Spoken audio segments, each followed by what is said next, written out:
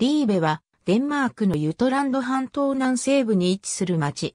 2007年1月1日まではリーベ市とリーベ県の中心であったが、行政改革で南デンマーク地域のエスビャウ市に編入された。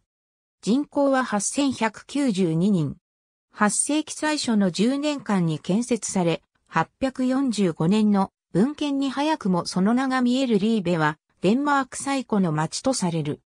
860年、ハンブルクブレーメン大司教のアンスガルは、北欧伝道の折、デンマーク王に、スカンディナビア初の教会をリーベに建てるよう進言した。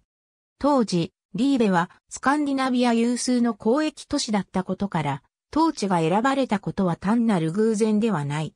教会は司教の影響力ゆえ大聖堂となり、遅くとも948年には完成した。旧市街、リーベ大聖堂及び110件ほどの家屋は文化遺産として保護されている。ボンストケンズ広場に面する役場庁舎は1496年の地区で1709年に町が購入した。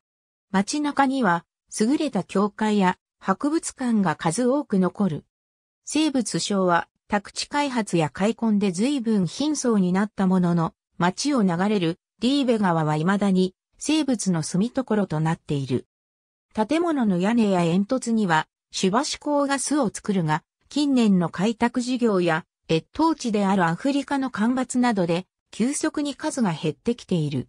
リーベ大聖堂市内の町並町役場括弧内の西暦は、称号が贈られた都市リーベには教育の中心地としての長い歴史がある。市内のリーベプレパラトリースクールは1145年には、その存在が確認できるリーベラテン語学校にルーツを持つ伝統あるギムナジウムである。